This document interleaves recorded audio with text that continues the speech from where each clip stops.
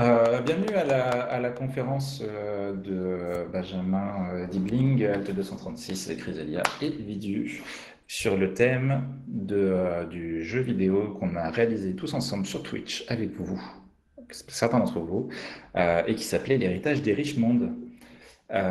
Du coup, on va commencer tout d'abord par se présenter pour ceux qui ne nous connaissent pas. Donc, peut-être commençons par le plus alphabétiquement euh, euh, premier d'entre nous. Alt, est-ce que tu peux nous dire qui tu es?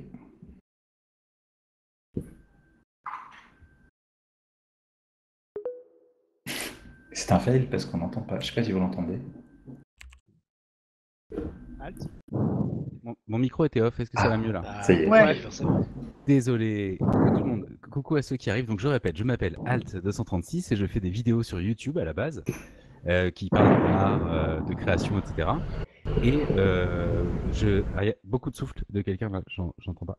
Euh, et du coup, je fais aussi du Twitch et en fait dans ce cadre-là, j'ai développé des espèces de petits jeux interactifs faits avec du Photoshop et avec des, fichiers PNG et des GIFs. Enfin, j'ai bricolé des petits trucs pour ensuite jouer avec le chat et, et c'est dans ce cadre-là qu'on a décidé de bosser tous les quatre sur ce projet. Voilà. À vous, les studios. Il a dit GIF. Il a- L'autre- ouais, on dit GIF, j'ai vérifié. Même le créateur a, a dit qu'on disait GIF. Confirme, je dis GIF aussi. L'autre membre de, de ce quatuor magique euh, a un béret autant dans la vraie vie que dans la vie virtuelle. Il s'appelle Benjamin Dibling et il va se présenter. Mais bonjour à tous. Euh, c'est super bizarre de voir une salle virtuelle, mais c'est assez rigolo. Euh, donc moi, dans la vraie vie, euh, je fais des jeux vidéo et j'écris du jeu de rôle, donc pour différentes boîtes, voilà. Sur du Cthulhu, euh, voilà, sur pas mal de petits trucs cool. Et voilà. Et euh, sinon, je fais des jeux vidéo et c'est comme ça que j'ai rencontré aussi. Euh, Vidu à une euh, festival en janvier où je suis allé avec Quentin. On allait faire des tables rondes là-bas. Super. Le troisième membre de ce quatuor magique euh, est aussi euh, euh, belle qu'intelligente. Euh, Chrysalia, est-ce que tu peux te présenter? Alors, je peux effectivement. Donc, bonjour, je suis Chrysalia. Je suis au départ streameuse et modératrice sur Twitch. hein, c'est vraiment Twitch mon, mon écosystème principal. Et puis, je suis donc la modératrice de HAL 236 ici présent. Et euh, j'aime beaucoup animer, j'aime beaucoup euh, pas- faire un peu d'impro, être, être une voix. Et donc, du coup, on a, on a collaboré avec Alt pour faire ce jeu où j'ai été à la fois une des voix de l'héritage des Richmond et puis également la facilitatrice technique, on peut dire, de, de cette opération, puisque j'ai essayé de, j'ai essayé de, de donner l'écrin technique aux idées, aux idées de ces trois garçons ici présents. Et enfin, le quatrième membre de, de ce quatuor magique euh, parle de lui à la troisième personne. Vidu, est-ce que tu peux te présenter? Oui, alors du coup, je m'appelle euh, Vidu et euh, je suis euh, créateur d'univers numérique, c'est-à-dire que euh, je crée des BD numériques, des nouvelles narrations à la fois dans la BD, le, dessin animé, le jeu vidéo, la VR, la. Et voilà, j'essaie de raconter les choses d'une façon différente. Je pense que la première question que certains d'entre vous se posent peut-être, c'est, d'accord, il nous parle d'un jeu interactif sur Twitch. Comme ça, ça a l'air assez séduisant, mais par contre, ça a l'air assez euh, euh, curieux. Et du coup, est-ce que l'un d'entre vous peut expliquer à la, à la salle ce qu'était le concept de ce jeu vidéo? Euh, bah moi, je veux bien. Si, enfin, si vous voulez, le principe, c'est qu'en gros, on a un chat qui voit quelque chose qui est diffusé, donc comme sur, sur Twitch. Et nous, l'idée, c'est qu'on avait une histoire euh, interactive. Ben vous en parlera plus, plus précisément, avec plusieurs chemins, etc. Et les gens, on a essayé avec Chrysalia notamment de développer des mécaniques euh, qui permettraient aux gens euh, bah, d'interagir, donc soit en votant, par exemple, soit en mettant. euh, on peut mettre les messages dans le chat en surlignance ce qui fait qu'on les voit beaucoup plus que les autres messages. Donc on avait carrément discuté avec le chat pour leur dire de ne parler que quand on leur demandait dans cette couleur pour pouvoir voir ça.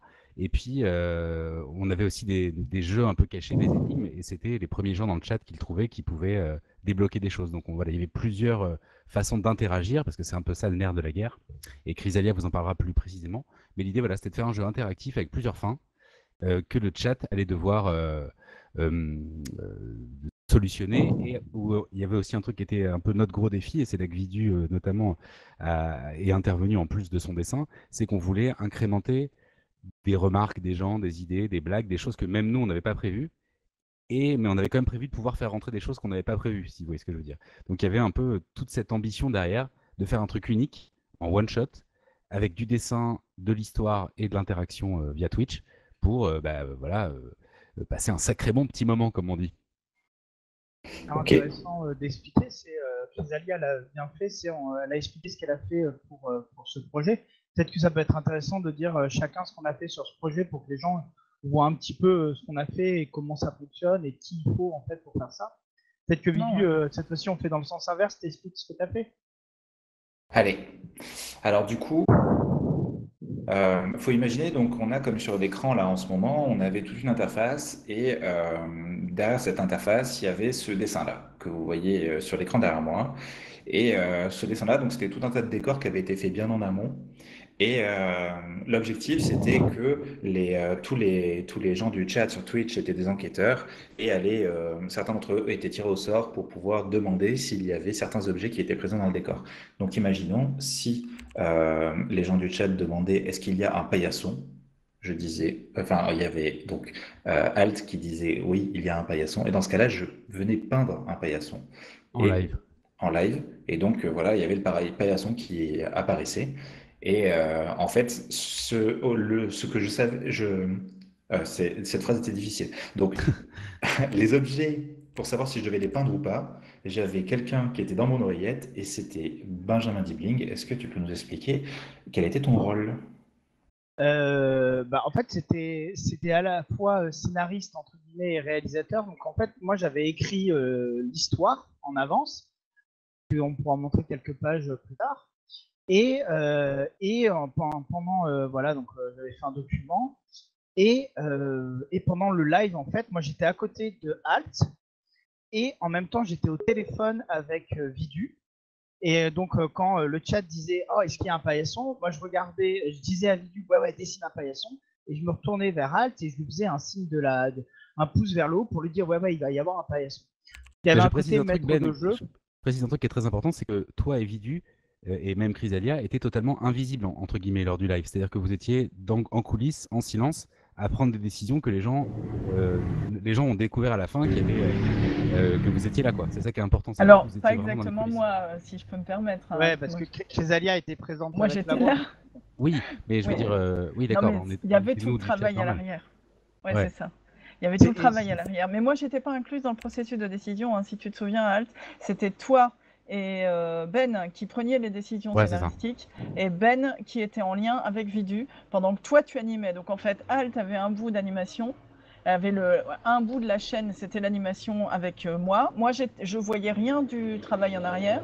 Et par contre, Alt discutait avec euh, Ben qui était avec lui présent dans la pièce. Et Ben reportait tout à Vidu qui était distant en train de dessiner. Il faut imaginer qu'en fait, ce jeu vidéo, c'était la conclusion de deux semaines de travail acharné et hyper intensif. Oh et en fait, pendant le live, non seulement Ben devait gérer les, euh, les allées et venues de oui, c'est bon, oui, c'est pas bon, on va faire ça, au niveau du scénario, on va faire ça, mais en plus, il devait gérer Vidu qui, est, qui était en train de jubiler et qui disait Oh mon Dieu, ça fonctionne! Oh mon Dieu, ça fonctionne, ce qu'on est en train de faire, ça marche!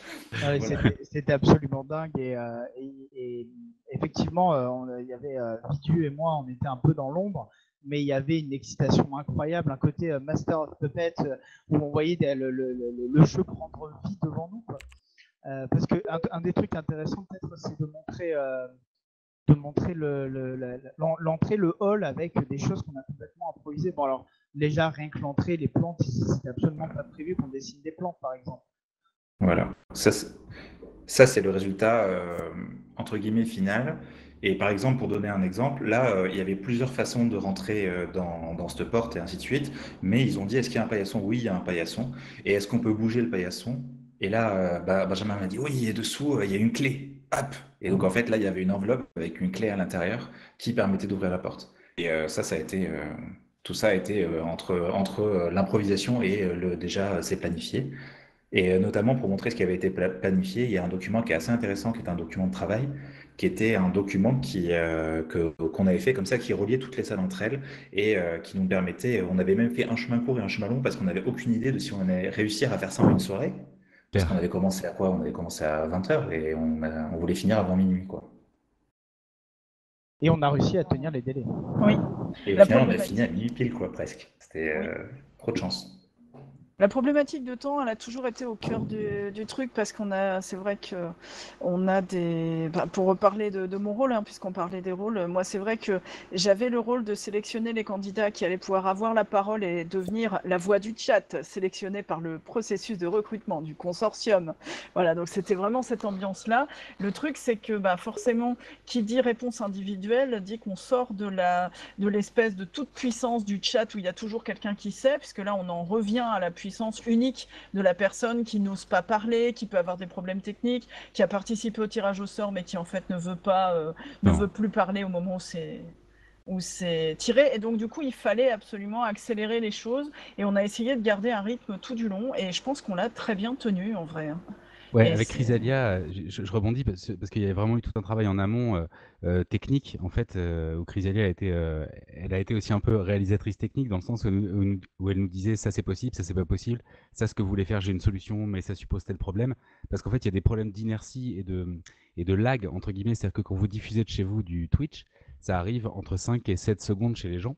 Donc il y a quand même, entre le moment où vous posez la question et vous avez la réponse, il y a quand même un temps plus Vidu qui reçoit l'info, qui dessine, qui, a dû décider très vite en fait euh, euh, certains choix de dessin, etc. Enfin, c'était très excitant, mais on avait cette peur en amont que euh, bah, ce soit lourd, un peu lent, que les gens, que ça bug, qu'il n'y ait pas cette espèce de petite, de petit frisson qui fait qu'on est dedans, quoi. Fallait pas perdre les gens. Et ça, ça a été vraiment un gros travail en amont avec Chrysalia notamment pour ah solutionner le, plus simplement possible tout ça avec des technos qui sont nouvelles. Quoi. Et dans les mécaniques qu'il y avait, euh, il y avait non seulement euh, cette, euh, cette mécanique de pouvoir faire apparaître les objets, mais on avait aussi glissé quelques petites, quelques petites autres mécaniques. Notamment, par exemple, on avait cette, ce Polaroid avec marqué famille unie et un petit apostrophe comme ça après famille qui devait poser question. Et en fait, ce qui se passait, c'est que. Comme ça, ils comprennent. Euh, bien sûr, pardon, excuse-moi, je suis allé trop vite en besogne. Non, non, mais c'est super intéressant. Le, En fait, pour vous imaginer, l'histoire, c'est euh, euh, on est on est dans la tête d'un petit garçon qu'on fait au bord de la plage, et grâce à une, technologie, on arrive à rentrer dans ses souvenirs et dans un peu le monde du rêve de, ce petit, de ce petit garçon. Donc un mélange un peu entre Inception et, et Alice au pays des merveilles. Et donc en fait, on va euh, évoluer pièce par pièce et reconstruire la mémoire de ce petit garçon pour comprendre comment il s'est retrouvé échoué sur, ce bord sur le bord de la plage. Et donc petit à petit, on va découvrir que euh, il a eu un, comme cadeau d'anniversaire un appareil photo et il a pris en photo euh, ben voilà, une jolie Polaroid d'une famille. et, et Vidu a eu une excellente idée. Je te laisse expliquer. En fait, on pouvait. En direct, les gens ont, commencé à comprendre très vite. En plus, ils ont compris assez vite. On avait peur que ça dure un peu longtemps. Ils ont compris hyper vite que c'était un anagramme et qu'en en fait, euh, en bougeant les lettres, donc on pouvait bouger les lettres en direct. Euh, donc en fait, ça a formé un mot, donc ça a formé l'infâme lieu. Donc famille unie, c'était l'anagramme parfait de l'infâme lieu. Donc on pouvait comme ça prendre les lettres et les bouger en direct avec les gens qui faisaient des propositions. Et que quand ils mettaient l'infâme lieu, ça montrait la maison dans laquelle se passait leur, euh, se passait la, l'aventure. Et voilà, donc il y avait plein de mécaniques comme ça qui étaient, euh, qui étaient, qu'on avait essayé de mettre en place et, euh, et c'était hyper riche en fait. Enfin, ça c'est vraiment. Euh, bah, et puis ça a été très fluide quoi, et très rapide. On, on, hésitait en fait entre, entre se dire est-ce que ça va pas être trop compliqué pour juste être résolu avec juste le chat? Et en fait, et à la fois on se disait, mais oui, mais l'intelligence collective et l'intelligence des gens, ça va aller hyper vite en fait. Et en fait, on s'était tombé sur, ça allait très très vite quand même de souvenir. Au niveau du, Polaroid, je me rappelle de cette anecdote pas mal qui est que euh, vous cherchiez, euh, Ben et, Alt, hein, qui étaient au scénar et à l'animation, cherchaient comment euh, faire intervenir ce Polaroid. Et donc on avait l'idée à un moment ah, qu'il allait intervenir. Et au moment où ils se demandaient comment ça allait faire, il y avait un frigo. Et alors, par exemple, il fallait que les gens disent y a-t-il un frigo dans la pièce? Donc on voit un frigo. Y a-t-il une chaise? On voit des chaises. Et là, sur le frigo, quelqu'un a dit il y a une photo.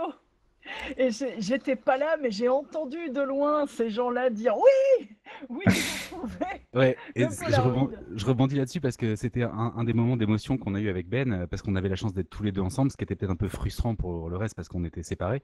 Mais avec Ben, il y a vraiment eu des moments où on s'est regardé euh, avec un sourire de gosse en disant putain, mais même dans nos rêves les plus fous, ils n'auraient pas eu l'idée de demander la photo sur le frigo et ça arrive comme une lettre à la poste. Euh, et, le, public se disait mais waouh, comment est-ce qu'on a pu trouver? Enfin, il y avait une espèce de révélation et de notre côté, nous, un hasard qui a fait qu'en fait les choses se goupillaient. Où vraiment, je me souviens avec Ben, on a eu des moments d'excitation, genre, mais yes, quoi, même. Faut, faut, faut, imaginer, par exemple, là sur la cuisine, là, qui est comme ça, quand les gens arrivaient à l'intérieur, elle était comme ça, quoi. Ouais, c'est ça. Et en fait, c'est par l'addition de toutes les propositions des gens, euh, certaines étaient bonnes, certaines étaient fausses et tout, qu'on est venu. Voilà, donc après, c'est de la peinture en direct, donc c'est pas du, c'est pas de la grande peinture. Et il y a un petit décalage entre euh, le décor tel que je l'ai peint à la base et ce que je dessinais en live, mais euh, ça faisait la blague, quoi. Ça de, de, de, qui est, qui est incroyable. parce que, mine de rien, ça, ça a été fait. on disait, ah, il y a une table, ah, il y a. ah, moi, j'ai est-ce qu'il y a, qu'est-ce qu'il y a sur la table? Et moi, je dis, ah, il y a de quoi préparer un gâteau. Et en live, il montrait la préparation d'un gâteau. Et, honnêtement, sans le sens de l'improvisation de, de, bah, de Halt, euh, de Chrysalia, de Vidu, le fait. Euh, bah, moi, j'avais écrit en avance, donc j'avais. Mais, mais, ouais, mais tu réagissais à ce que proposaient les gens. Tu avais plein, d'idées, pas un truc. Je me rappelle d'ailleurs, pour ce qui est de l'entrée que tu nous as montré tout à l'heure, Vitu, il y avait Ben qui était prêt à écrire un truc où il passait au-dessus du bloc. Parce que quand il y a l'entrée, on voyait l'espèce de, suite du bloc qui est le haut, en fait, le gris, là. Et je me rappelle que Ben, à un moment, tu étais chaud. Si jamais il disait il faut essayer de passer au-dessus, tu étais prêt à écrire un truc où, il passait au-dessus pour rentrer dans la maison. Et je trouvais ça hallucinant. Vous aviez tous une capacité d'improvisation euh, incroyable. Bah, en, ah. parlant peut-être d'un on peut peut-être parler des, des, pas dans, dans, le hall, qui était un moment assez marrant. Ouais. Alt, tu peux peut-être l'expliquer? Je m'en souviens plus, j'ai une mémoire de merde, mais je sais que c'était hyper cool. Qu'est-ce que c'est? En, gros, en gros, nous, on n'avait jamais envisagé qu'il euh, y ait euh, des pas, etc. C'est ça, voilà. Et Vidu les a fait et ça nous a fait phaser de ouf. Quoi. Ouais, et, et, en gros, ouais, il y a. Euh, y a nous, on arrive dans la pièce et ils disent Ouais, il y a des pas. Et moi, je regarde Alt et on était chaud bouillant et je dis à Vidu Vas-y, fais des traces de pas et les traces de pas, tu les fais continuer sur le mur qui monte. Et, et littéralement, je savais pas si c'était une bonne idée et tout. Je savais qu'on était dans la tête d'un gamin, donc c'est possible dans, pendant l'histoire. Et, et, honnêtement, j'ai vu Alt à côté de moi et même moi découvrir tous les deux en live. On a vu ça. Honnêtement, ça c'est hallucinant parce que d'un seul coup, on a vraiment l'impression de faire une œuvre collective. C'est les gens du chat qui ont vraiment demandé s'il y avait des traces. Et, et en live, on l'a vu naître. Quoi. Là, il faut voir, juste 5 secondes. Le, ce qui est en live, c'est du temps, du, c'est le temps direct. Hein. c'est la vidéo telle qu'elle est à la vitesse 1, quoi. Donc en fait, on voit vraiment apparaître les... voilà. C'est à ce moment-là, on voit vraiment le... les pas apparaître, quoi, si tu veux. Voilà, c'est juste. J'ai trouvé ça formidable, hein, ce que tu as fait. C'est-à-dire que non seulement tu as dessiné en direct, ce qui est déjà un challenge, mais en plus de ça, tu l'as fait d'une façon qui semblait, euh, comment te dire, si quelqu'un avait créé un dessin animé de ça, il l'aurait fait au même, il l'aurait fait apparaître au même rythme et tout. Il n'y avait pas la moindre lenteur parce que c'était créé en plus d'être montré. Et j'ai trouvé ça euh, vraiment euh, bluffant, tu vois, ce que tu as fait. Bravo à toi. J'ai bien fait de venir à cette conférence. Hein. Justement, ce qui, ce qui, était fou, euh, moi, pourquoi j'ai vécu une émotion particulièrement euh, avec vous trois, parce qu'avec Chrysalia, on avait déjà fait pas mal de jeux, on avait testé plein de choses, ça ressemblait un peu à des point and click, mais c'était plus du montage Photoshop, où je bougeais des calques en live, des choses comme ça, il y avait euh, différentes scènes où on pouvait passer d'une salle à l'autre, mais tout était déjà, pour le coup, déjà fait. Et c'était très difficile de, de, laisser la place à l'improvisation parce qu'en fait, il euh, bah, faut tout préparer en amont. Si quelqu'un te dit est-ce qu'il y a ça et que tu l'as pas préparé, bah, tu peux pas le sortir. Alors qu'avec Ben et Vidu, euh, le rapport a été ouf parce que Vidu avait eu une expérience du dessin en live, donc avec euh, vraiment ce côté performance. voilà, faut, faut pas se gourer. Enfin, il faut pas se gourer, faut pas se gourer de couleurs, faut pas se gourer de calque. Il faut être inventif, il faut faire un truc qui va bien avec le style. Enfin, il y a vraiment une performance de dessin qui est ouf, mais surtout, comme on l'a vu avec les pieds, tu avais entre tes mains la possibilité de faire du hors-piste en fait. Et euh, de la même façon, Ben, qui a une expérience du jeu de rôle que je n'ai pas, lui, il sait s'adapter à un joueur qui va te dire un truc qui n'était pas prévu parce qu'il a tout un référentiel, des mécaniques, des réflexes, des, une imagination qui fait que euh, à eux deux, ils ont pu apporter des choses que, alors même qu'on avait tout balisé en amont, euh, on n'avait pas prévu. Et que le chat, du coup, alors ils ont peut-être pas vu ce qui était prévu ou pas, c'était un peu notre but, mais je pense qu'ils ont aussi senti par des trucs qui, étaient improbables à demander qui voient se faire à l'écran. En fait, il y avait vraiment une. Il y a eu quelques moments, tout était génial, mais il y a eu quelques moments avec euh, un truc où je me suis dit, ok, ça, ça n'a jamais été fait, et il y a un truc de ouf qui est en train de se passer. Vraiment, il y a eu des moments euh, que j'ai eu du mal à récupérer avec mes autres jeux déjà préparés, même si euh, je- j'essaye encore des choses aujourd'hui et tout, mais globalement, ce soir-là, il y a vraiment eu voilà, le fait d'avoir un MJ, d'avoir un dessinateur encadré par deux personnes qui ont euh, qui avaient un lore, des, des trucs techniques, une façon d'animer le truc, et, et puis euh, un chat. Oui, parce euh, que, avec, dis donc, tu es trop modeste quand tu dis que, tu, que Ben a une expérience du jeu de rôle que toi t'as pas et que tu peux pas improviser tout ça. Euh, si, parce que honnêtement, ça a été un festival de vannes entre nous deux qui, je pense, a, Oui, a bien plu et a animé le truc. Et toi-même, Oui. tu savais pas du tout où on allait. Moi, des fois, je faisais des vannes, tu savais pas du tout où j'allais. et on, on a fonctionné, mais très très bien. On s'est répondu. Alors pour les pour les gens euh, donc de la conférence qui évidemment n'ont n'ont pas forcément de référentiel, on a fait comme si on était deux agents du consortium. Et donc du coup, Alt, c'était euh, le joyeux luron qui connaît tout le monde parce qu'il va à tous les pots de départ et qui du coup, euh, dès, dès qu'un agent arrive euh, et recruté, en fait, il inventait tout un lore en disant Ah, ben toi, je te connais, euh, t'es mon vieux copain, on s'était pas vu depuis 10 ans. euh. Ouais, parce Et que j'étais l'agent, en fait, si je me souviens bien, j'étais l'agent L'agent- 236, et du coup, on a commencé à triper sur l'agent euh, 77. Enfin, euh, du coup, c'était juste, voilà, se laisser des, euh, des, des espaces, en fait, dans lesquels on peut improviser sans que ça remette en cause la structure euh, essentielle du jeu. Et je pense qu'on a tous dans nos postes, on a réussi à quand même faire ça. Et ça, c'est, ça a été un peu la clé de, Oui. qui a fait que c'était aussi cool et qu'il y a eu à la fois de l'imprévu et du coup de l'excitation et de un peu de magie quoi et en même temps quelque chose de très préparé qui a fait que bah, les gens se sont pas ennuyés qu'il n'y a pas eu de bug que c'était une vraie histoire avec une fin Euh, enfin voilà on a vraiment euh, regardez Le- là, tous, le- les, tous les décors le qu'il y a fait en le 3D micro c'est coupé. c'est ouf quoi La, la- le truc, en fait, c'était que là, on se jette beaucoup de fleurs, mais je crois que c'est à la, hauteur de, du stress et de l'inconnu dans lequel on était et de la possibilité que ça avait de foirer totalement, en fait. Euh, en fait, on a passé deux semaines à bosser comme des tarés sur, euh, sur euh, des peintures, sur des scénarios, sur des machins, alors qu'on avait chacun nos propres trucs. En plus, euh, Alt, toi, ça tombait en plein milieu du documentaire que tu faisais sur les pochettes de, de groupes de Métal. Et, et on avait, on avait plein de- tous beaucoup de boulot à côté et tout, et on était à fond sur ça, et on était hyper stressés. Il y avait un milliard de raisons pour que ça se passe très mal. Et, euh, et en fait, euh, ça s'est passé vraiment hyper bien. Donc, euh, Le truc qui était, qui était, marrant, c'est qu'on a, on a mis, bah voilà, on a, on l'a fait en deux semaines. hein. Moi qui j'ai un peu une connaissance quand même du jeu vidéo et ça se fait pas en deux semaines ce genre de choses. Et, euh, et voilà, et en fait, il y a eu, il y a eu, il y a eu des, des transferts d'énergie entre nous euh, qui étaient, euh, qui étaient trop marrants. Voilà, donc au début, nous, euh, on a, on a beaucoup travaillé sur l'écriture, etc. Alt, il a fait, mais je sais pas si vous avez vu, mais il y avait dans le menu, il y a plein de petits détails qui sont à mourir de rire que moi, moi j'ai découvert. Par exemple, regardez tout en bas, il est marqué Visual Identification Device Unit, donc ça fait Vidu. C'est pour dire qu'il était là malgré tout tu vois et, et c'était c'était à mourir de rire. Donc en fait, on a fait, euh, on a fait, ben voilà, chacun a amené plein de trucs et on allait tous dans la même direction et c'est pour ça que ça a marché. Euh, et, euh, et voilà, tout simplement quoi. Et- euh, du coup, par rapport à, à tout ça, donc il y a des trucs qui ont marché et il y a des trucs qui, euh, qui peut-être ont un peu moins marché. Est-ce que, euh, est-ce que l'un d'entre vous a une anecdote euh, un peu drôle euh, d'un moment où ça s'est pas passé ou quelque chose comme ça? Ah, ouais, moi j'en ai. Alors, j'en ai, mais je, je vais, je vais parler de, de mon propre gros ratage. Euh, en tant que dame de la technique, c'était à moi d'essayer de, de savoir comment on allait s'organiser pour que euh, X parle à Y, mais que euh, Z ne les entende pas, etc. Puisqu'il fallait que moi, j'entende pas parce que j'avais la modération à gérer, plus l'animation, parce que j'étais à la fois en voix et en contrôle du chat et en gestion des recrutements, etc. Et puis... Alt devait être en lien avec Ben, mais pas en même temps avec Vidu, parce que les deux à la fois tout en animant, c'était pas possible. Donc du coup, on devait gérer ça. Et j'ai fait la bêtise de, gérer ça et de préparer ça sur le Discord euh, dédié qu'on avait pour le Discord de travail. Sauf qu'en fait, c'est pas les mêmes réglages pour que chacun entende et n'entende pas machin et truc dans la- la conversation privée dans laquelle on a finalement fait le live. Donc à l'instant où on a commencé ce live, eh bien, au premier instant, on commence à mettre les réglages comme on voulait les mettre, c'est-à-dire machin, mute, truc et truc, mute, bidule, mais pas machin. Et à l'instant, eh bien, il n'y a plus rien qui marche comme il faut. Ah ouais. Et, et- et Ben et Vidu ne peuvent plus se parler. Ne s'entendent Ouais, plus. c'est un peu le stress, ça, je me souviens. Voilà, et ça c'était la Et du coup- grosse panique. Et donc ils sont passés par téléphone. Voilà. Et oui, putain, c'est ça.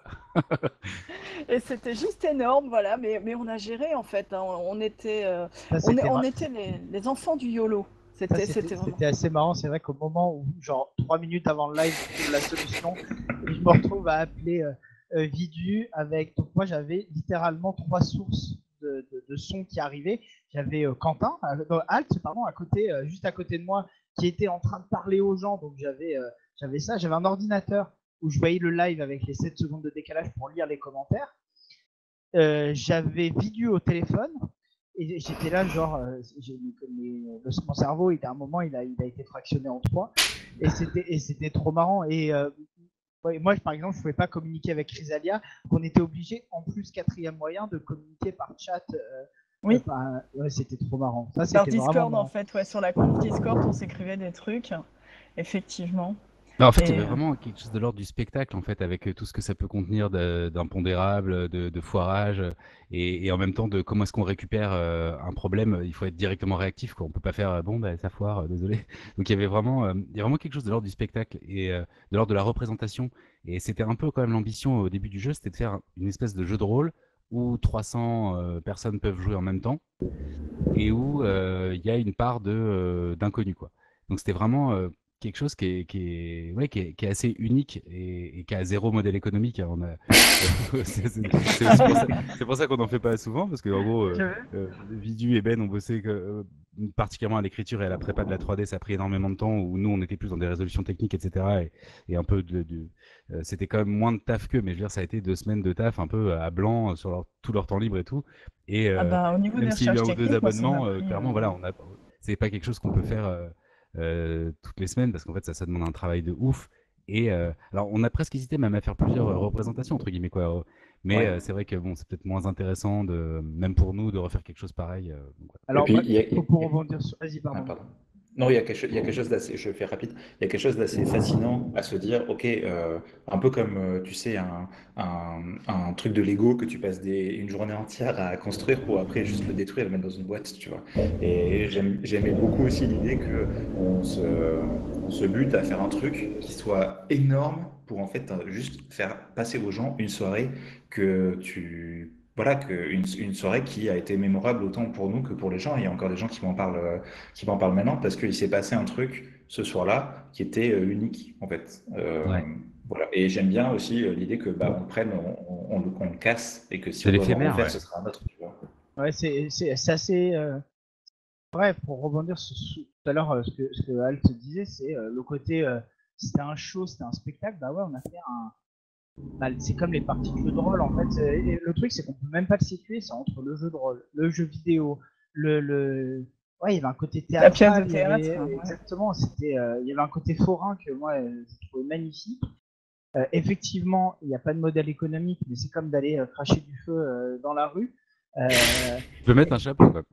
et tu peux mettre un chapeau, c'est vrai. Ah, non, mais, mais dans le sens où, euh, je de toute façon, on l'a, on l'a pas fait dans le but créer un modèle économique, on l'a fait pour que ça nous nourrisse en termes de, euh, d'idées. Et moi, pour le coup, c'est vrai que ça m'a beaucoup, personnellement, en tout cas, l'expérience m'a beaucoup nourri en termes de comment on fabrique certaines choses, etc.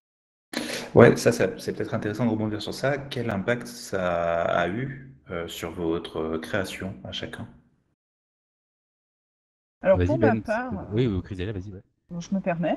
Euh, pour ma part, bah, en fait, euh, j'avais surtout, euh, je crois, une bonne connaissance technique de l'utilisation du, robot au niveau du chat, une bonne connaissance de Twitch, mais on va dire qu'elle était bonne. Et puis bah, là, en gros, j'ai bien fait, bien fait les fonds de tiroir hein, parce qu'ils ils avaient, besoin de solutions techniques parfois pointues, parfois farfelues. Il fallait que ça fonctionne. Et donc, du coup, je- j'ai acquis une nouvelle maîtrise, je pense, du, robot de chat. Au niveau de, ma modération, j'étais beaucoup plus à l'aise puisque je, je modère sur un peu trop de chaînes, il faut le savoir. Donc euh, bah, ça me permet de maintenant d'être tranquille pour modérer sur deux, trois chaînes en même temps. Et euh, donc voilà, j'ai acquis une aisance, on va dire, et puis surtout une bonne connaissance technique du, du robot qu'on a utilisé et, et de Twitch lui-même, de ses possibilités. Et ça me... Euh, le robot, si tu peux, parce que peut-être que c'est pas. Oui, pardon, c'est Wisebot. hein. Le, le robot qu'on a utilisé, c'est Wisebot. Il faut savoir qu'il existe plusieurs robots de chat pour Twitch qui sont tous à peu près équivalents dans dans leurs fonctions. Il y a quelques détails différents des uns des autres. Et donc celui que moi j'ai utilisé, qui est assez polyvalent et plutôt puissant, c'est Wisebot. Et c'est lui qui nous a permis. Alors, que faisait ce robot? Alors, en fait, le robot de chat euh, avait euh, la possibilité de faire des tirages au sort et donc on a utilisé ça pour les recrutements. C'est-à-dire que moi, je lançais un tirage au sort très rapide où je disais un recrutement est en cours. Et donc, euh, les gens participaient avec une certaine commande, un point d'exclamation, un mot. Je crois qu'on avait mis point d'exclamation go, quelque chose comme ça, un truc très court. Et ils avaient une dizaine de secondes et je faisais le tirage parmi les gens. Et donc, ça permettait d'avoir cette agent spécial élu parmi le chat qui, euh, qui prenait la parole à l'aide justement des points de chaîne euh, de Twitch, c'est-à-dire qu'il mettait son message en avant qui ressortait avec une certaine couleur au niveau du chat. Et moi, je dialoguais avec cette, euh, cet agent spécial parce que l'agent 236 était, euh, était link à la machine, il était tenu dans les souvenirs euh, du petit garçon et moi j'étais son agent de liaison justement avec les agents du consortium. Donc c'était inspiré du film The Cell dans lié, c'est avec Jennifer Lopez qui rentre dans la tête d'un serial killer et donc ils sont en espèce de stase et rentrent dans la tête de quelqu'un. Donc c'était Chrysalia qui elle du coup faisait le lien entre le réel et cette phase euh, dans laquelle j'étais moi, qui était, euh, il n'y a que elle qui pouvait me parler, je pouvais pas voir ce que me disait le chat. D'où l'idée qu'elle pouvait elle gérer le chat, faire les tirages au sort et ensuite me donner euh, les réponses des gens pour que je puisse investiguer dans la maison et dire oui. Chrysélia, tu m'as dit que quelqu'un demande s'il y a ça. dans la maison, je vois bien ça. Ce qui fait que ça nous laissait aussi un petit peu de temps pour que Ben et Vidu puissent s'arranger pour donner le go et dessiner, etc. Pour préciser sur l'utilisation du robot, ça c'était pour l'utilisation euh, vraiment précise au niveau du jeu, mais il, sert également à toutes sortes de choses au niveau de la modération et notamment il me permettait d'informer du tirage en cours, de donner des commandes qui retournent un texte explicatif pour les gens qui arrivaient en cours de jeu pour leur expliquer quel est le jeu. Euh, il y, a différentes commandes qui sont connues des gens du chat qui leur permettent d'avoir divers types d'informations, etc. Donc du coup, euh, c'est vraiment un robot qui a en fait pour but d'avoir soit des actions random, c'est-à-dire des tirages au sort euh, principalement, soit des actions de type euh, question-réponse avec un système de une commande retourne un texte. Et donc ça permettait à la fois d'informer, à la fois de faire du lore parce que le, la commande parlait justement très sérieusement de recrutement parce que l'heure est grave, parce que l'agent 236 risque sa vie. Alors c'est ça qui est important, euh, Chrysalia, c'est qu'on a essayé de mettre du lore, enfin donc le lore c'est euh, l'univers, etc. On a essayé de mettre du lore dans tous les trucs techniques, qu'il n'y ait pas un moment où on dise bon, euh, allez voir dans le message de Twitch si vous avez reçu un truc, parce que là du coup ça casse complètement l'immersion. Donc l'idée ah. c'était vraiment que toutes les, mécaniques, c'est un des gros travaux qu'on a fait avec Chrysalia, c'est d'essayer de trouver comment est-ce qu'on pouvait faire que un truc pas forcément sexy comme faites une commande ou, ou faites un tirage au sort rentre dans l'histoire en soi et que du coup bah, ça améliore encore plus l'immersion plutôt que de la perdre. Bah, d'ailleurs, euh, on, avait euh, pris, euh, au niveau du robot, il y, a, plusieurs plans, etc. On avait pris le. Comment Enfin, tu avais acheté le, robot en question, l'usage du robot, et donc on a pu modifier la totalité des textes. Et l'ensemble complet des textes dits par le robot ont été réécrits, c'est moi qui les ai réécrits, de façon à donner le lore et l'ambiance et, laisser surtout les gens dans le jeu. Donc ce n'était plus un tirage au sort est en cours, mais agent, un recrutement spécial est en train d'être effectué, vous allez être euh, sélectionné, etc. Donc euh, c'est vrai qu'on a su euh, garder l'ambiance comme ça en réécrivant vraiment tout, en allant chercher dans tous les coins tout ce qui pouvait être modifié pour garder cette ambiance. Du coup, Ben, pour revenir un petit peu à la question de départ, qu'est-ce que ça a eu comme influence sur ta façon de faire du jeu vidéo? Euh, alors, moi, c'est vrai que faire du jeu vidéo, c'est mon cœur de métier, c'est plutôt la direction d'acteurs et de, et de,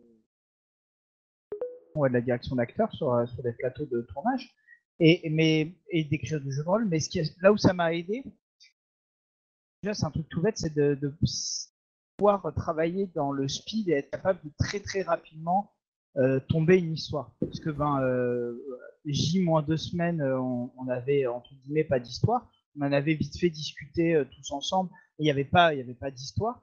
Et être capable de tomber voilà l'histoire rapidement, poser les structures, poser des idées de game design et tout. Il y a eu un côté, un côté où tu dois vite avancer, vite prendre des décisions. Et ça, ça m'a beaucoup aidé parce que ça m'a dans l'idée que parfois dans le rush, en fait, on fait des bonnes décisions ça, il y a ça. Puis, euh, puis honnêtement, euh, en termes de maître de jeu, moi j'ai jamais, jamais, jamais, jamais ressenti ça. Ça fait euh, plus de 25 ans que je fais du jeu de rôle et je n'ai jamais ressenti ça quand j'étais à côté de Quentin. Il me voyait, mais. T'avais l'œil qui brillait, j'avoue. Mais oui, mais il y a des moments, j'ai failli, j'avais des larmes aux yeux parce que c'est absolument dingue de voir. Bah, c'est comme un maître de jeu, sauf que euh, voilà, en plus de ça, tu as entre guillemets un présentateur, créateur donc qui, qui, est qui est alt. Il y avait Chrysalia qui était aussi un, entre guillemets un PNJ plus plus un truc technique. Euh, il y avait Vidu qui fabriquait le décor, mais c'était sensation, c'était dingue. Il y avait euh, tous les quatre en tant que créateurs, on se rebondissait tout le temps et c'était une émulsion qui est Ouais, et ce qui, était, assez, ce qui était assez excitant en termes de maître de jeu, je sais pas comment on dit, enfin, en tant que mastera de jeu pour, pour toi, Ben, c'est qu'il y avait ce truc un peu bizarre de euh, parce que quand tu masterises, tu le fais avec 4, 5, 6 personnes. Euh, là, il y en avait 300. Je sais plus combien on était en, live, mais il y avait bien 300 personnes, un truc comme ça. Et euh, évidemment, tout le, monde, tout jouait pas en même temps, mais il y avait quand même une, grosse pression du flux de gens. Parce que 4 joueurs, c'est facile de, voir un peu où ils en sont, etc. Là, il y avait vraiment capter l'information, la process, la faire rentrer dans notre écran et voir quelle liberté tu pouvais accorder. Donc ça, c'était quand même quelque chose de, de fou. Et en même temps, tu pouvais pas parler. Là où euh, d'habitude, bah, tu peux utiliser ta verve, euh, ton, ta façon de parler, euh, ton imagination directement. Là, il y avait le côté marionnettiste qui ne doit pas intervenir, mais qui en même temps décide de tout ce qui se passe. Donc c'est vrai que c'était assez fascinant comme setup. donc ça, c'était vraiment cool. Ouais, c'est voilà. Donc ce que ça m'a apporté, juste une expérience unique déjà, ça c'est sûr, et voilà de la conviction dans le fait que dans le rush et dans le stress, quand, on a un peu d'expérience, vraiment, j'en ai pas tant, mais voilà, mais un peu d'expérience. C'est vrai qu'on a tendance à faire euh, dans le stress parfois les bons choix. En tout cas, ça m'a rassuré là-dessus. Et toi, du coup, tu as, l'habitude. Toi d'abord. Ah bah, non, moi je suis en train de dessiner pour leur montrer un petit peu euh, comment ah, ça pouvait avancer en direct. Euh, je n'ai pas résisté. moi, ce que ça. Dans ma pratique des jeux, parce que ça n'a pas changé ce que je faisais en vidéo, c'est vraiment des choses très différentes. c'est plus. Il y a juste beaucoup de bruit là, je, je m'entends pas. Euh, ce que ça a changé dans mon approche des jeux Twitch, parce que du coup j'ai quand même continué, j'ai dû en faire 5-6 depuis. Alors évidemment, j'ai jamais réussi à réatteindre ce, ce level d'excitation et d'imprévu, etc. Mais ça m'a vraiment convaincu euh, qu'en fait, euh, alors je vais faire une hot take, comme on dit, dans le, c'est que pour moi Twitch, ça m'a convaincu que Twitch, la chose la moins intéressante qu'on pouvait faire dessus, c'était jouer à un jeu vidéo en fait.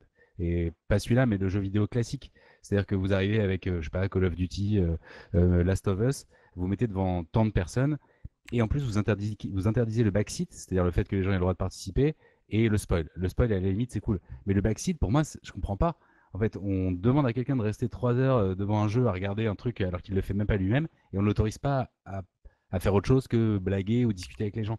Et je trouve ça en fait très dommage, alors que euh, avec cet outil, en fait, on a une chaîne de télé euh, à soi tout seul, avec beaucoup plus d'outils que ce qu'a une chaîne de télé en fait, au final, et beaucoup plus de liberté et avec en plus euh, la possibilité, contrairement à une télé, où les spectateurs, bah, c'est juste une part d'audience, là, c'est des gens concrètement qui sont avec vous en live. Et comme vous, là, qui parlez dans le chat euh, maintenant. Et là, en fait, il y a un écosystème créatif euh, et de jeu qui est quand même un peu unique. Et du coup, moi, ça m'a convaincu que je voulais continuer là-dedans et que dans les jeux que j'essaie de concevoir maintenant, il y a toujours une part où, enfin, je tends vers le fait que ce soit les gens qui doivent quand même créer le truc et que je ne déroule pas quelque chose de déjà préparé un peu comme un livre dont vous êtes le héros, si vous voulez. Euh, c'est un peu ça mes jeux, c'est des livres dont vous êtes le héros plus plus. Sauf que moi, ce, que ça m'a, ce dont ça m'a convaincu, c'est que la richesse, elle est là.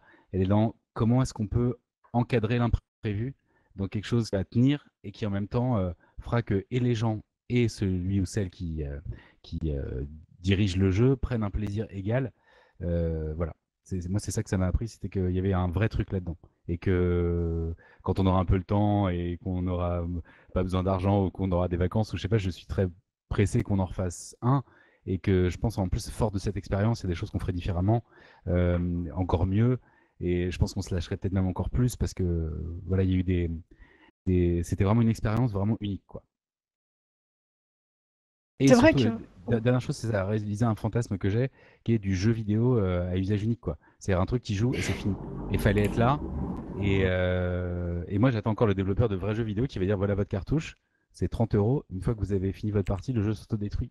Moi, c'est vraiment un fantasme. J'en ai marre du, truc qui dure 50 ans, qu'on pourrait jouer mille fois, etc. Je voudrais qu'on retrouve l'unique Alors, ça existe, euh, Apple? Je suis pas sûr. Il y a eu un, Tamagotchi? un, un fantasme. Oui, alors le Tamagotchi, mais tu peux le redémarrer et, et tu recommences une partie. Oui. Que c'est pas un vrai jeu. Donc voilà. Mais euh, oui, je demanderai à un bot dans la RAM qui doit savoir. Oui, carrément, il doit y avoir des expériences. Mais disons que le jeu connu, répandu, c'est un modèle économique qui marche pas. Tu peux pas dire je te vends un jeu et puis c'est mort. Donc euh, du coup. euh, Et même les escape games, Ben, oui, comme tu dis, tu peux rejouer. Donc euh, c'est vrai que. Donc, je suis désolée, j'ai. Voilà, pardon. Alors, ouais, moi, à titre perso, ce que ça m'a apporté, euh, bah, déjà euh, de rencontrer euh, de belles personnes. Donc, euh, ça, c'était, Bah oui, c'était trop bien. c'était, c'était Ah déjà ouais, chouette. grave. Je crois que ça s'est, euh, ça s'est bien calé tout de suite.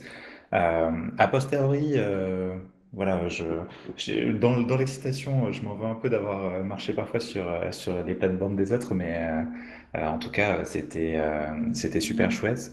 Et surtout, euh, bah, en fait, clairement, euh, dessiner en direct comme ça, euh, des trucs où tu sais pas ce qu'ils vont te demander, et euh, où potentiellement, je sais qu'à un moment, il y a des moments, je me suis dit, mais je vais mourir, quoi.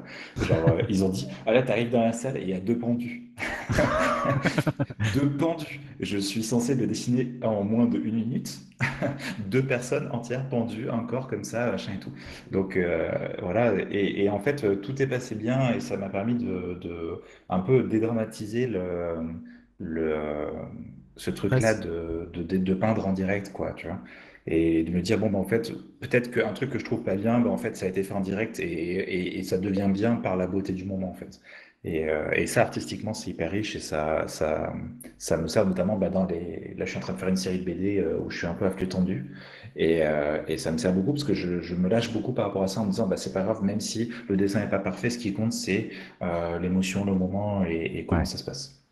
D'ailleurs, je Voilà. rebondis deux secondes pour dire un truc que, que Ben, moi et Chrysalia, on a eu ce soir-là et pas toi. C'est que tu avais fait tous les décors en 3D. Donc ça, c'était prévu, etc. Alors, Mais je, je, je, je profite pour te corriger, c'est pas en 3D, c'est de la peinture. c'est que de la peinture? Ouais, à chaque fois, bah, il y a une base de 3D parfois, Ah, voilà, mais ça. en fait, bah- 80% du truc est peint. Voilà. D'accord. Oui, oui, effectivement, tu avais repeint sur la texture, mais disons qu'il y avait un, un procédé qui était euh, préparatoire en amont, etc. Avec euh, tu as des effets de lumière, euh, l'isométrie et tout qui était déjà qui assi- asseyait le jeu dans quelque chose d'un peu solide. Tu arrivais Ouais, dans une salle, elle était déjà faite.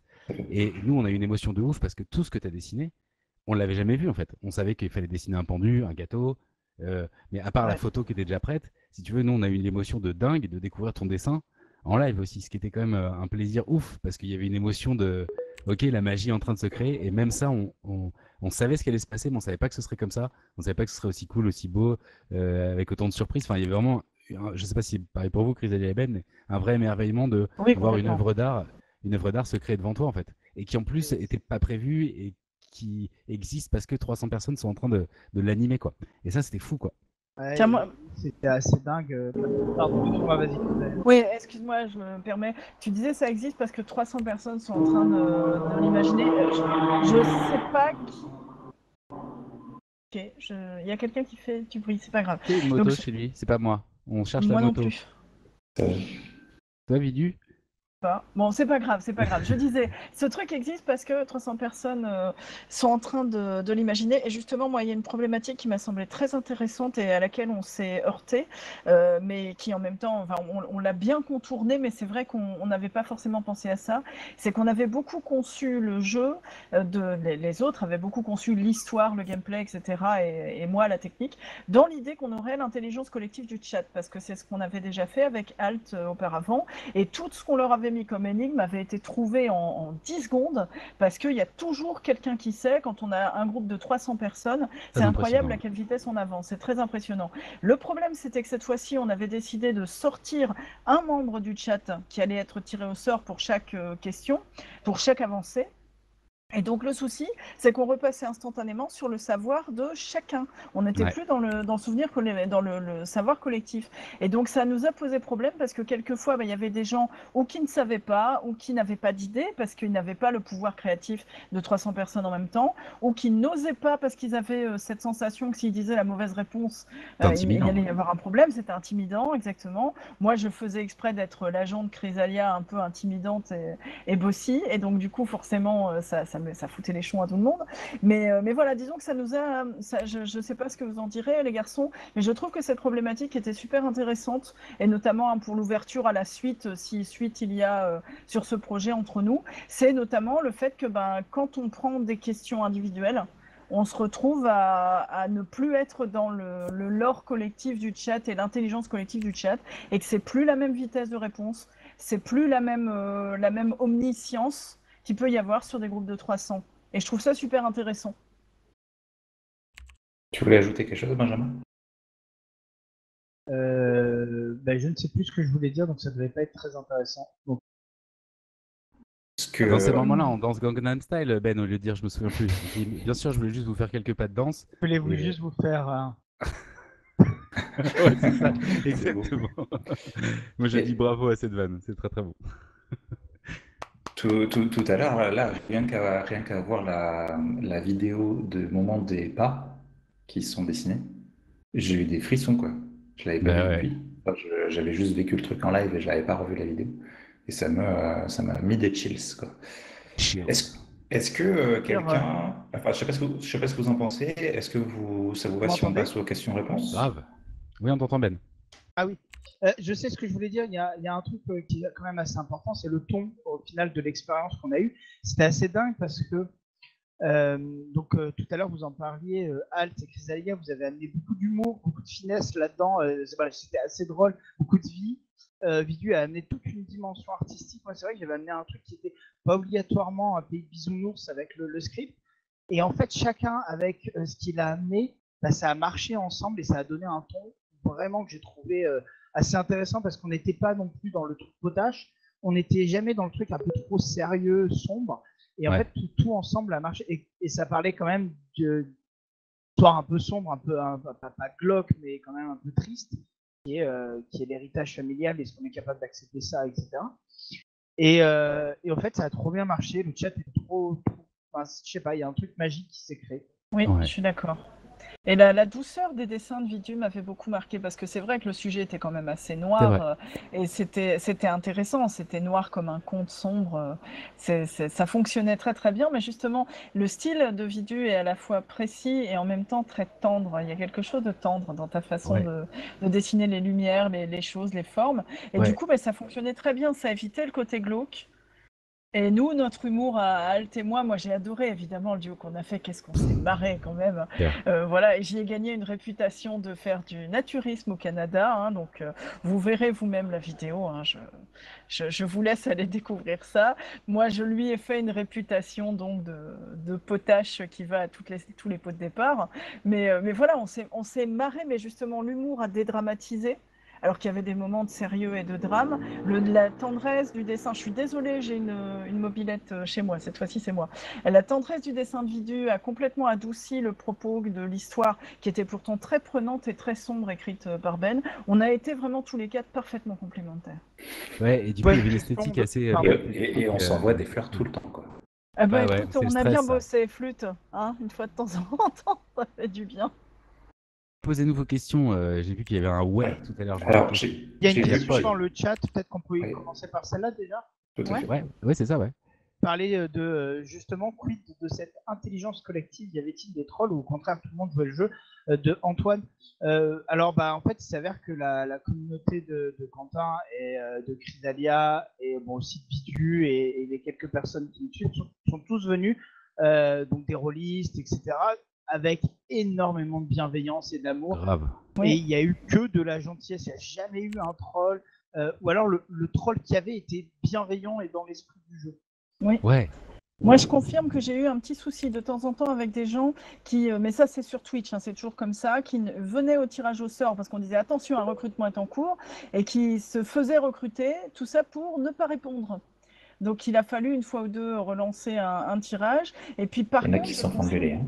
Euh, comment Il y en a qui il y en a qui sont engueulés, Oui, un petit peu, effectivement. Mais il fallait. Mais euh, par contre, surtout, les gens avaient. Euh, moi, je m'attendais pas à ça, notamment. Les gens avaient peur de mal répondre. C'est-à-dire qu'ils étaient au cœur d'un jeu où on avait mis une ambiance à la fois de sérieux, de gravité, mais quand même de, de drôlerie sur la discussion. Mais les gens cherchaient la bonne réponse, puisqu'on leur disait qu'est-ce que vous voyez dans cette salle? Soyez la voix du chat, qu'est-ce que vous voyez? Et ils avaient la pression de, de, Ah, leur mort, et du coup, ils osaient pas, euh, à un certain moment, ils osaient pas dire. Et ça, finalement, on s'est heurté à ça plus qu'à des trolls qui diraient n'importe quoi. Les gens Ouais. étaient dedans. Il y a il y a une question de, de Paul aussi qui est, qui est cool. C'était pour l'ambiance. Vous avez fait comment? Vous aviez de la musique et des sons. Je crois me souvenir qu'on avait mis euh, mes musiques en fond, si je me souviens bien. Moi aussi, ouais. Ben ouais, je crois que t'as Plus des ambiances sonores aussi. Il me semblait qu'il y avait la pluie qui tombait à un moment. Ouais, voilà, on avait Ouais. quelques ambiances sonores. Mais aujourd'hui, alors clairement, un truc que j'améliorerais, c'est qu'entre temps, je me suis acheté un petit Stream Deck. Donc, c'est un petit clavier dans lequel vous pouvez euh, gérer OBS avec euh, un clavier, en fait. Et vous pouvez aussi lancer des sons et les éteindre à la main, etc., sans, sans, sans changer de scène forcément. Donc, du coup, clairement, sur un nouvel épisode, je pense que je préparerais euh, une, une son d'ambiance ou de son unique qui pourrait être sorti à certains moments. Et alors que là, il y avait juste un tapis musical euh, qui était cool, mais c'est vrai que c'était moins, euh, euh, encore moins. Il y aura encore plus d'interactivité à trouver avec ça, je pense, avec le son. Ça donne trop envie. On a Ah oui, on va le faire, hein. euh, pour le jeu, un des jeux suivants qu'on a fait, là, un des derniers jeux, on a créé des commandes sonores justement avec le robot qui ont permis euh, d'avoir une commande d'ouverture de porte avec un beau bruit de grincement de porte. Euh, et ce genre de choses. Donc ça permet au chat d'être encore plus acteur puisque ce sont eux qui déclenchent les sons, qui déclenchent les ambiances. Donc on est Voilà. en train de travailler là-dessus. hein, On, on Ouais, ouais. continue. Et il y a quoi Queen Du Apple coup, ouais. qui dit euh, de futurs projets, une nouvelle version de Atmosphere? Ça fait envie, j'avoue, mais euh, vous avez. euh, bah, on en- Enfin, je, je réponds pour vous, on compte le refaire, c'est juste qu'on a été grave débordé et tout, et que ça a pris beaucoup de temps et que le temps file et qu'on a plein de projets. Mais clairement, moi, je j'attends que ça, qu'on qu'on refasse un truc euh, ensemble et dans cet esprit-là. Mais il n'y a pas encore de projet, euh, ou alors je suis pas au courant, mais il n'y a pas encore de projet euh, euh, défini euh, plus que ça. Mais je pense que cette conf, elle va euh, peut-être aussi nous, nous convaincre de, un peu. de- de refaire ça bientôt. Quoi. Pour Ouais, répondre à, à Queen Apple de repartir sur le champ de bataille, ouais. Queen, Queen Apple nous demande si on se considère comme créateur ou créatrice de jeux vidéo. Alors vous, je sais pas les garçons, mais moi, je nous vois et je me vois plutôt comme des marionnettistes euh, hardcore. Parce que c'est vraiment ça, Alt, c'est c'est Rémi Brica. Euh, désolé, hein, Alt, pour la comparaison, mais c'est vrai, c'est l'homme orchestre Heureusement, parce que je sens que c'est complet. chaud. C'est c'est le papa de Guignol, c'est ça? Non, Rémi Brica, c'est celui avec sa, sa caisse claire, habillé tout en blanc et qui, et qui danse euh, et qui fait des, Ah oui, des cymbales, putain. etc. C'est le mec qui a 225 euh, instruments de musique, c'est l'homme orchestre. Mais tu fais ça, je veux dire, tu bouges les images en stream, tu animes à la voix, tu fais les sons, tu as fait le scénar, enfin voilà, tu fais tout. Moi, je, je suis euh, pareil, une marionnettiste technique. Donc moi, je nous vois comme ça, des marionnettistes euh, hardcore. Voilà. Et vous, Après, comment pour, vous euh, nous voyez? Si, Moi- enfin, Vas-y, Vidu. Moi, j'aurais tendance à dire, euh, est-ce que, en en gros, la question, plus au-delà du créateur-créatrice, c'est surtout, est-ce que ce qu'on a fait, c'est un jeu vidéo? Ouais, Et Ouais. euh, en fait, ma réponse est oui. moi aussi. Euh, Ouais, c'est pas faux, Voilà. Et je, Ça, c'est vrai. et, et- et je crois qu'on partage tous, surtout cette envie, euh, quand on nous dit, bah, tiens, euh, les, les limites qui, qui existent, ce sont, c'est ce carré-là. On est tous les trois à aller taper dans les murs comme des tarés pour voir s'il n'y a pas un truc derrière, tu vois. Et Ouais. je crois que c'est surtout ça qui, qui, qui nous unit, c'est surtout se dire, euh, OK, euh, comment euh, euh, continuer à faire du jeu vidéo, par exemple, mais euh, aller autre part, tu vois, ou du jeu de rôle et, et aller essayer de chercher des choses qui n'ont pas été faites ou des choses comme ça. Je crois que enfin, c'est un peu le, le cœur au fond du fond de, de ce qui fonctionne bien aussi. Et du coup, je pense que malgré tout, ça reste un jeu vidéo. Ben, qu'est-ce que t'en penses puisque tu bosses dans le jeu vidéo? Ouais, alors moi, c'est vrai que je me suis jamais considéré comme un créateur euh, parce que je fait euh, et on a fait euh, et, alors il y, y avait de la vie etc et c'était trop cool mais euh, là je pense qu'on a on a touché à un, truc mais moi dans mon dans mon quotidien dans mon quotidien je me considère plus comme un artisan dans le jeu vidéo et dans, dans- et c'est vrai que là on a touché à une forme de création qui m'a assez excité Pour la, la définition juste du jeu vidéo, c'est un- peu une réponse de Normand, mais moi j'ai le droit, je suis né dans, dans la Manche. Mais euh, c'est qu'en fait, c'est pas vraiment un jeu vidéo dans le sens où tu peux pas le vendre, les gens peuvent pas le mettre dans leur console et jouer, etc. Mais le fait est que c'était un jeu et que c'était en vidéo et que les actions des joueurs influaient sur ce qui se passait à l'écran. Donc en fait, c'est c'est un peu un, une, oui, c'est une fausse réponse, mais c'est ce que peut être le, le jeu vidéo. Sauf que voilà, il est très différent de l'image qu'on en a tous et toutes. Mais je crois, crois qu'au-delà de ça, il y a un truc hyper intéressant dans ce que. Excuse-moi, euh, Benjamin. Il y a un truc hyper intéressant dans ce que tu as répondu un peu plus tôt, c'était quand tu parlais de ton rapport à Twitch et de Ouais. ce qui était possible et intéressant de, de faire sur Twitch. Et, euh, et, en fait, ça, par exemple, Twitch, typiquement, c'est une zone qui a été définie très tôt avec, bah, ok, ça marche. Euh, Mister MV, il fait très bien ça. Il lance un jeu, il anime le jeu et ça repose sur euh, le fun que peut faire, euh, peut, peut, peut transmettre le, le, le, streamer. Et je crois que, euh, voilà, Alt, toi, tu as exploré depuis pas mal de temps dans, dans, ton contenu et tu nous as amené ça parce que moi, j'avais jamais trop réfléchi à ça. Et tu as exploré ça d'essayer de, de, faire le Twitch différemment, quoi. Et voilà. C'est à la fois un, un, jeu vidéo et à la fois un, un live Twitch aussi. Ouais, ouais, bah, en tout cas, c'est sûr que ce qui était hyper excitant, parce que alors, ça fait un peu prétentieux comme ça, mais ce qui était excitant dans notre aventure à tous les quatre, c'est que c'était pas extraordinaire, mais on avait l'impression de faire quelque chose qui avait pas été trop fait, quoi. Et je me souviens même que deux jours avant, je, crois qu'il y avait une streameuse qui avait fait un truc un peu avec du dessin en live et, des choix multiples. On était là, ah non, c'est pas possible. Mais du coup, on avait été, t'avais été voir vidéo, c'était hyper intéressant. Mais du coup, c'est dans l'air du temps et c'est un truc qui, à mon avis, va être de plus en plus développé. Mais clairement, il y a il y a, je, enfin, quand je disais ça, c'était un peu pour troller dans le sens évidemment que MV ça se fait pas comme ça ou d'autres euh, ou même euh, Queen Apple qui, qui stream aussi et, et d'autres. C'est un, un, délire d'animer un, un, truc parce que euh, faut que le chat soit vivant, que tu aies de l'humour, que tu puisses jouer à un jeu, lire ton chat. Enfin, il y a quand même beaucoup de choses qui sont mobilisées. Donc évidemment que il suffit pas de jouer à un jeu vidéo pour que euh, un stream soit cool. Euh, il y a évidemment et les gens viennent pour ça, pour la personnalité de la personne qui stream, pour l'ambiance qu'il y a pour le fait de retrouver des gens d'une semaine à l'autre ou d'un soir à l'autre euh, qui sont dans le chat souvent et avec qui vous créez presque une forme d'amitié. Et, je trouve que Twitch a ça de particulier que c'est un des derniers endroits pour moi euh, un peu safe et magique du net dans le sens où les gens qui sont sur ton stream, à part quelques trolls ou des trucs comme ça, ils viennent parce que euh, bah, ils t'aiment bien ou ils aiment bien les gens qui sont là. Donc il y a une forme de bienveillance qui est quand même presque même plus importante que dans un commentaire Twitter ou, YouTube ou ce que vous voulez, parce que là, du coup, il y a un anonymat qui est, qui est euh, décalé, quoi. Tu laisses ton comment, euh, les gens le voient. Là, tu es en live. Si tu dis une connerie, les gens vont dire waouh, tu dis une connerie. Si tu es cool euh, ou que tu fais marrer les gens, les gens vont se marrer. Enfin, il y a une, une, une, vie, en fait, dans un chat Twitch qui, qui est très familial presque. Moi, j'avoue, quand je ferme un Twitch, je dis bisous aux gens et tout le monde s'embrasse, yes, à bientôt. Enfin, il y a un truc un peu foufou quoi sur Internet, c'est assez rare en fait finalement. Il y, a beaucoup de love sur Twitch en fait, comme tu dis Chrysalia dans le chat. Et ça, si on arrive à mettre dedans des dynamiques de jeu, d'interaction, etc., bah, il y a vraiment des aventures qui sont trop cool et qui c'est difficile de rassembler 300 vraies personnes dans un hangar et dire bon, euh, je prends le micro, je suis maître de jeu, alors vous décidez quoi? Enfin, ce serait pas du tout la même chose. Donc vraiment Twitch et tout reste à faire parce qu'en plus c'est une API. Vous pouvez coder des trucs dans Twitch. En fait, on peut faire à peu près n'importe quoi. Et je pense que si un jour il y a une forme de modèle économique qui est trouvé, il y a peut-être plus de gens qui font des choses comme ça. Alors que là, pour l'instant, clairement, c'est du temps où je fais pas mes vidéos et où je me dis pourquoi tu fais ça, c'est bien. Mais la passion et l'envie de, d'échanger ces moments-là est plus forte, quoi.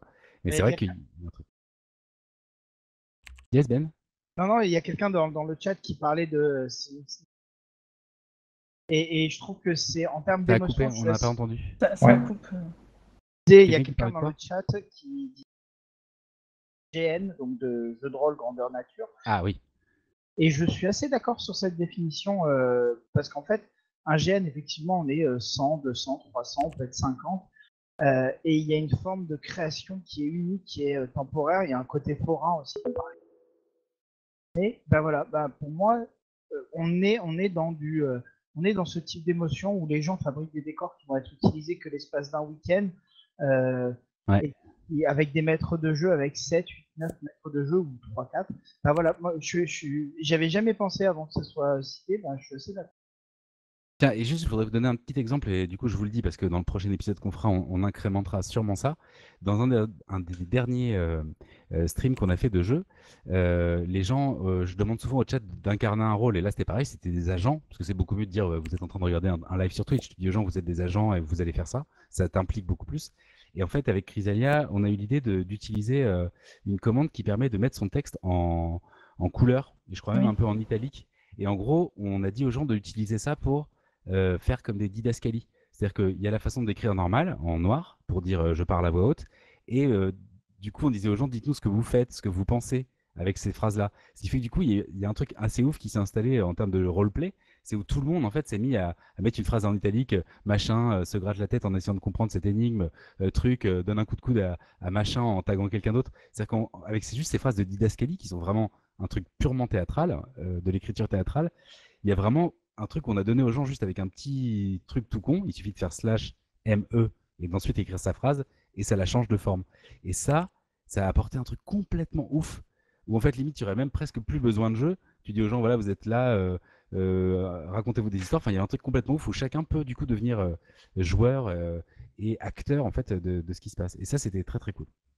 J'avoue, et puis les gens se sont pris au jeu tout de suite aussi, parce que quelquefois c'est pas évident de mettre les gens dans l'ambiance, mais là on a eu de la chance, la commune de Halte est vraiment géniale, et du coup ils sont, ils sont partis mais loin, ils ont, ils ont créé euh, tout- toute une ambiance, ils se sont échangés euh, ces actions de didascalie, et, et en gros nous on n'a eu plus qu'à surfer dessus. Parce que ils, étaient lancés, les mecs, ils étaient Je partis. pense que c'est un truc très bien à réutiliser parce que du coup tout le monde a vraiment euh, envie d'être là. Il y a un- Moi mon rêve c'est que le chat, qu'on a un peu réussi à faire avec cette expérience, que le chat se dise waouh je suis en train de vivre un truc où j'ai une importance, où c'est unique et où euh, euh, je suis pas juste là à regarder un moment cool. Euh, Je, je fais partie d'un moment cool en fait. Et ça euh, c'était euh, c'était trop cool. Et tu sais que c'est Et- ce qu'ils me disent, hein. C'est ce que me disent les gens. C'est en gros ce que tu viens de dire, c'est le, le retour que j'en ai de ce qu'on a fait.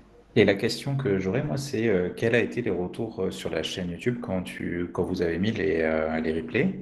C'est-à-dire, quelle est la valeur de l'expérience de vivre ça en replay? Alors ça, c'est plus difficile de savoir. euh, c'est plus Chrysalia qui elle est sur le Discord où moi je- j'ai j'ai pas le temps d'aller malheureusement où elle a des retours des gens. Mais disons que sur les replays euh, euh, YouTube, euh, c'est c'est c'est pas sur ma chaîne principale. Du coup, euh, il y a beaucoup moins de passages en fait. Et euh, il y a quelques commentaires de gens qui qui kiffaient. euh, voilà, comme on regarde un petit peu un film. Mais c'est vrai qu'il y a un truc un peu frustrant de le regarder après, euh, sans doute. euh, C'est à peu par près les rapport à- retours euh, que j'ai eus, si je peux me permettre, Alt. En fait, euh, la- le replay a beaucoup été regardé sur Twitch par des gens qui n'ont pas pu rester jusqu'au bout. Donc, il y, y a une grande masse de gens qui m'en ont parlé, qui sont ceux qui ont vu le début, qui n'ont pas pu rester pour la fin et qui donc euh, sont allés voir la fin. Et il y a aussi des gens qui ont été attirés par la hype et qui ont ensuite euh, regardé le replay, qui a eu vraiment euh, pas, mal, euh, pas mal de vues, je crois 200 vues. Attendez, j'ai l'info là juste devant moi, 151 vues quand même. Donc, c'est vraiment 1500. très bien. euh, Alors, pour, oui, mais tu- elle part sur Twitch, je crois. Moi, euh, je parle sur Twitch, hein. Ok. je parle pas sur, euh, Et sur c'est YouTube. 1500 ouais, sur YouTube. Ouais, bah 1500 sur YouTube, effectivement. Mais donc, du coup, le- les gens euh, se divisent en deux catégories.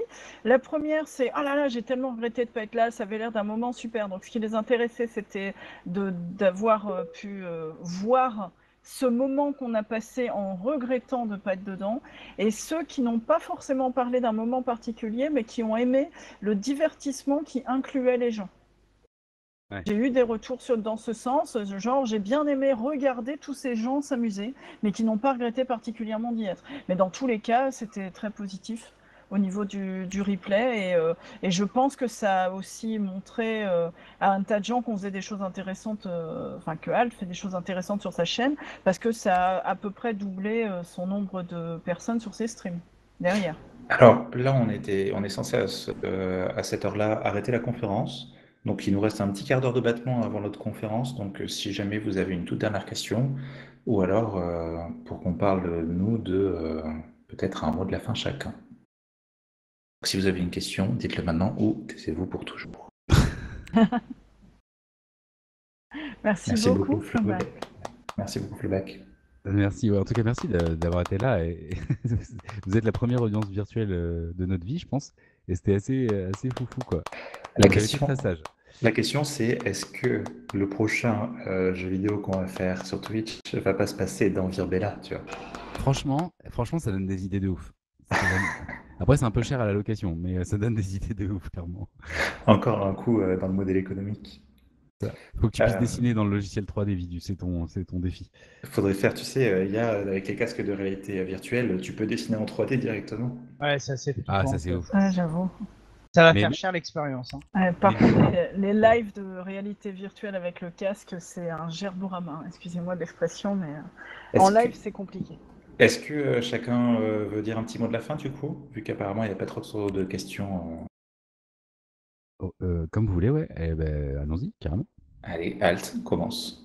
Euh, ben, euh, petit mot de la fin. Ben, moi, je voulais vous remercier d'avoir été, d'avoir autant bossé sur ce truc, d'avoir été aussi cool, euh, d'avoir, ouais, qu'on soit tous partis dans cette aventure pour faire ce truc-là. C'était vraiment un moment humain euh, parce que vous avez peut-être pas vu euh, les gens qui étaient là parce que voilà, on voit le résultat.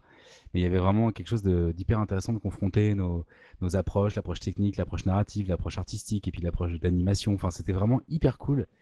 Et alors que c'est pas facile de bosser à plusieurs euh, et de trouver la place pour que tout le monde se sente bien, etc. Donc j'espère que vous avez pris autant de plaisir que moi là-dedans. Et moi, j'ai envie de dire, bah, là, je suis en train de réfléchir déjà avec la salle dans laquelle on est là, tu vois. Je vais faire un putain de jeu. Toi, tu te diffuses en live, tu vois ton écran, tu dessines des trucs. Les gens sont dans une salle, il y a un truc qui part en, sucette, la, la porte s'ouvre plus. Enfin, c'est juste que il y a des choses géniales à faire. Se mettre à droite ou à gauche pour voter et tout. Ouais, en fait, il y a mille choses à faire. C'est ça qui est ouf, c'est qu'en fait, ces nouvelles technologies, ce sera peut-être ça mon mot de la fin, euh, elles peuvent être complètement euh, euh, perverties dans le bon sens du terme. Et en fait, ce qui est assez ouf avec notre système, c'est que c'est du bricolage. C'est que du mensonge. C'est, tu es sur un Photoshop, tu allumes un calque, tu dessines, tu l'enlèves, Ben il est à côté au téléphone. Enfin, il y avait un côté bric-à-brac et en même temps vachement technique, puisque du coup, c'était quand même sur un ordi avec des, des commandes. Et, ce mélange entre humain, fragilité et en même temps euh, modernité d'un truc euh, un peu émergent comme Twitch. Euh, je trouve que là, il y a plein de choses à faire en fait, dans, remettre l'humain, l'imprévu, le, foufou dans quelque chose de très froid, même si c'est bourré de possibilités. Voilà. C'est un gros mot de la fin. Ok. Chrysalia, est-ce que tu Eh bien, moi, bah, évidemment, je vous remercie énormément de, cette occasion que j'ai eue de travailler avec vous. Alors, les gens, euh, vous avez appris à les connaître un peu durant cette conférence, mais voilà, moi, j'ai bossé euh, deux semaines avec eux et j'ai été épatée euh, par à la fois le côté, le, côté visionnaire, le côté imagination, en fait. Alt repousse les murs et nous, on lui a donné des écrins pour, pour les idées et pour les, murs qu'il avait envie de repousser. c'est gentil, mais, mais, mais, Vidu, je, je, te coupe, Vidu faisait lui aussi des trucs euh, ultra ah, cool en, en, BD interactive. Enfin, c'est juste que c'est juste sur Twitch, oui, il y avait ce petit écran où du coup vous avez amené un truc de ouf, mais voilà, c'est vraiment. Ah, mais bien sûr, je parle, parle pas en général, je parle sur ce projet, si tu veux. Tu vois, tu En gros, chacun d'entre nous a donné quelque chose qui fait que les autres n'auraient pas pu le faire sans. Et c'est ça, qui a fait qu'on s'est vraiment interloqué, euh, inter, euh, interconnecté ensemble. C'est que toi, tu avais les idées, Alt, et c'est toi qui as décidé que c'est le public qui devait mener l'impulsion. Moi, j'ai donné les craintes techniques de réalisation sur euh, toutes vos folies. Euh, ben a trouvé un scénario formidable et Vidu a fait exister tout ça visuellement. Et du coup, bah, je, je suis honorée d'avoir fait partie de, de ce projet-là. J'en ai tiré évidemment énormément de plaisir. C'était formidable de bosser avec vous et c'était euh, c'était euh, exaltant et c'était euh, c'était vraiment super. Voilà, je vous aime les gens et puis bravo, bravo à vous et, et à quand le deuxième, j'ai envie de dire? Exactement. Ben? C'est dur de passer après autant d'amour de tout ça. Bah, moi aussi, c'était ouf, c'était génial. Voilà, moi, je vous travailler avec vous et tout. Euh, mais euh, moi, ce que je veux dire, c'est déjà, c'est que c'était, euh, comment dire, c'est trop cool de bosser, de bosser sur des choses qui poussent les limites, mais surtout faire, parce que tous les trucs les plus intéressants qui ont été faits, c'est toujours quand on a dit, voilà, par exemple, le jeu vidéo, c'est ça, et quand il y a des créateurs qui sont arrivés, qui ont poussé les limites, des jeux cultes, et, voilà, et je pense que dans tous les médias, il y a un truc intéressant à faire, et voilà, nous, à notre petite échelle, on a fait un truc euh, qui a combiné plein d'amour de, médias qu'on aime, le jeu vidéo, le jeu de rôle, l'image, l'illustration. Voilà. Et, au public, je voudrais dire aussi merci de nous avoir écoutés. Vous êtes euh, apparemment plus nombreux que ce que vous nous avez raconté, donc moi je suis super content. Euh, vous êtes, voilà, vous êtes là, c'est trop cool. N'hésitez pas, il y a des gens qui ont demandé si vous pouvez venir nous poser des questions après. Bah, bien sûr, hein, vous êtes plus que libre de venir nous poser des questions après euh, sur nos réseaux. Voilà. Et, remercier quand même aussi le Bordeaux, euh, le Bordeaux Geekfest pour euh, nous avoir invités déjà et avoir donné de la visibilité à cette expérience. Et puis à Visu aussi qui a proposé et qui nous a du coup un peu proposé de faire ça ensemble. Et puis ouais, le, le Bordeaux Geekfest d'avoir fait ce truc, c'est quand même très intéressant. Il y a ce côté un peu mi-second life de l'enfer, mais qui du coup donne quelque chose qui est très émergent et assez ouf aussi. Et ça donne un plein d'idées pour l'avenir sur euh, la virtualisation des événements. Donc euh, merci à elles et eux aussi qui ont bossé pour euh, ah, résoudre tous ces problèmes. merci à Jérôme hein. qui est là aussi. Merci à vous hein, pour votre participation. Et bah, comme on l'a vu dans le chat, c'est vrai qu'on découvrait l'outil aussi et, il est plus orienté à la base conférence, vous savez, type universitaire ou professionnel. C'est pour ça qu'il y a des limites dans les notions de streaming comme Twitch et ce genre de choses. Mais c'est toujours pareil, hein, ces limites-là, on va pouvoir les pousser. Puis peut-être qu'on aura des opportunités pour que ce soit encore plus interactif à l'avenir. Hein. au prochain Bordeaux Geekfest, vous nous invitez, on fait un événement spécial pour le Geekfest. Allez, le prochain. Allez. Après, euh, est-ce que ce sera encore lié On ne sait pas. Euh, je voulais juste euh, terminer en, disant une petite chose, en félicitant Jérôme pour ce magnifique book qui Déjà. va si bien son avatar. Voilà. C'est magnifique. Merci. Voilà. Merci. Non, ju- ju- juste un, un petit truc pour dire que en fait là, en fait, après ce live, on s'était dit, ok, on se pose un petit peu et on va faire d'ici une semaine un bilan de comment on a vécu le truc. Et on l'a jamais fait parce qu'on a tous les quatre des employés de temps de ministre. Et en fait, quand il y a eu l'opportunité de faire euh, cette conférence-là au, au Bordeaux Geek, je me suis dit, bon, bah voilà, ok, c'est notre possibilité de faire ce bilan-là et d'avoir une raison de le faire, entre guillemets, et de prendre ce temps-là. Et, euh, et c'est pour ça que parfois, euh, ça va peut-être euh, tourner au lancement de fleurs, mais euh, parce que vraiment, euh, euh, On revivait voilà, on, on- l'expérience, on vra- on- ouais, on, on est, on est ceux qui ont survécu, survécu à la, à la Seconde Guerre mondiale, et du coup, euh, on a de l'amour à revendre de putain, t'es encore en vie, putain, moi aussi je suis encore en vie. Oh là là, t'as vu ce qu'on leur a mis en Asie. Donc euh, voilà. Non, mais Ouais, raison, on on a en dit avait pas putain, c'est trop content. Point Godwin. Voilà. Non, mais franchement, c'est vrai qu'on on a eu des liens de travail qui étaient super agréables. Je pense qu'on a tous eu euh, des collaborations partout, etc. Mais on a eu là une collaboration de qualité et je pense que c'est pour ça qu'on a l'air de jeter des fleurs. C'est parce que ça s'est vraiment très bien passé et que ça fait plaisir. Et on n'avait pas pu en reparler vraiment trop et débriefer, comme tu disais, Vidu. Donc c'est vrai que du coup, euh, on revient un peu le truc avec vous et on se dit les choses euh, qu'on s'était dit rapido en mode c'est trop bien et tout, mais on n'avait pas pu un peu faire ce retour d'expérience. Donc c'était c'était euh, un peu get a room, mais euh, c'était cool que vous étiez là pendant ce moment. Donc du coup, il reste 5 minutes, donc on va laisser la salle pour la prochaine conférence qui sera. Jérôme Ah, j'allais faire le même. Trop bien. Euh, prochaine conférence, on est sur le- les thèmes de la paléontologie et le jeu vidéo. Génial. Ah, En plus, ça parle à Halt. Eh ben merci à toutes et tous d'être venus. Merci C'était beaucoup cool. Ouais, c'était vraiment super. Donc euh, des gros bisous euh, et puis ben voilà, on se retrouve le bientôt sur les réseaux. Exactement. Jérôme, merci tout le monde. Merci tout le monde. Ciao.